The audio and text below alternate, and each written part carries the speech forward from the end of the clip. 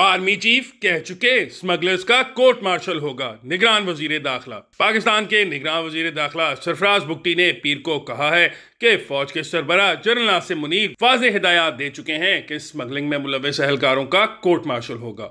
मुल्क में स्मगलिंग में मुलविस नासर के खिलाफ कार्रवाइयाँ जारी हैं और इस्लामाबाद में पीर को सरफराज बुख्ती ने हुकूमत की तरफ़ से किए गए इकदाम की तफसीत एक प्रेस कॉन्फ्रेंस में बताई। प्रेस कॉन्फ्रेंस में जब एक सहाफ़ी ने निगरान वज़ीर दाखिला से पूछा कि पाकिस्तान में आमतौर पर इल्ज़ाम लगाया जाता है कि सिक्योरिटी एजेंसीज और ख़ास तौर पर वो लोग जो बॉर्डर पर तैनात हैं, ज़्यादातर स्मगलिंग इनकी नाक के नीचे होती है। इस सवाल के जवाब में सरफराज बुख्ती ने कहा यह बात आपकी बहुत हद तक दुरुस्त है, सौ फ़ीसद दुरुस्त है। अगर मैं ये सीधा सीधा कह दूँ कि वो सिक्योरिटी एहलकार तो मुलविस ही नहीं थे तो ये मुनासिब नहीं है, क्योंकि ये स्मगलिंग जितनी भी होती है, ये ऊँटों पर नहीं होती, ये स्मगलिंग ट्रकों पर होती है। सरफराज मुफ्ती का कहना था कि पाकिस्तान की फौज के आर्मी चीफ ने बड़े वाजे तौर पर अपने लोगों को कह दिया है। मैं इस मीटिंग में मौजूद था, जिसमें बड़ी वाज हिदायत थी कि ना सिर्फ़ कोर्ट मार्शल होंगे बल्कि जो लोग इस तरह की प्रैक्टिस में मुलविस होंगे, इन्हें जेल भी भेजा जाएगा। तहम निगरान वज़ीर दाखिला ने यह नहीं बताया कि आर्मी चीफ ने किस मीटिंग और कब ऐसा कहा, जबकि पाकिस्तानी फौज की तरफ़ से भी कोई ऐसा बयान सामने नहीं आया है, जिसमें स्मगलिंग में मुलविस एहलकारों के खिलाफ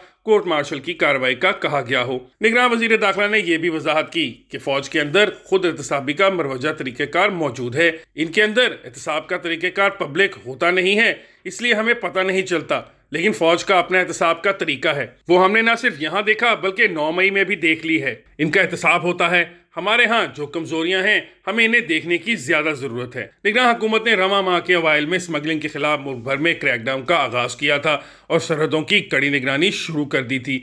इस्लामाबाद में पीर को वज़ीर इतलात, मुर्तजा सोलंगी के हमरा प्रेस कॉन्फ्रेंस में सरफराज भुगटी ने मुल्क भर में डॉलर, चीनी और गंदम की स्मगलिंग के हवाले से बताया कि सिलसिले में हज़ारों मेट्रिक टन गंदम, चीनी और तेल बरामद किया गया है, जबकि डॉलर की जखीरा अंदोजी के खिलाफ कार्रवाई में पैंसठ करोड़ रुपए भी बरामद किए जा चुके हैं।